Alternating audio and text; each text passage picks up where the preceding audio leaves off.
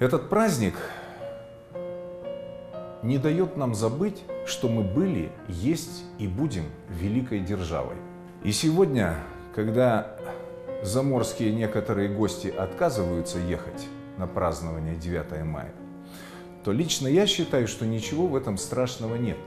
Потому что из тех, кто не хочет сегодня ехать праздновать сюда, половина была трусы, а вторая половина предатели. Если сегодня их не будет, праздник пройдет только веселее, светлее и более торжественно.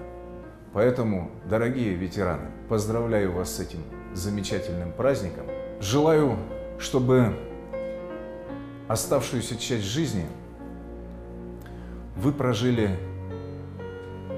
гордясь своими заслугами. И мы свою жизнь прожили, гордясь тем, что вы когда-то были и нашу страну отстояли, что вы вырвали эту великую победу, которая является нашей национальной гордостью, вечной гордостью.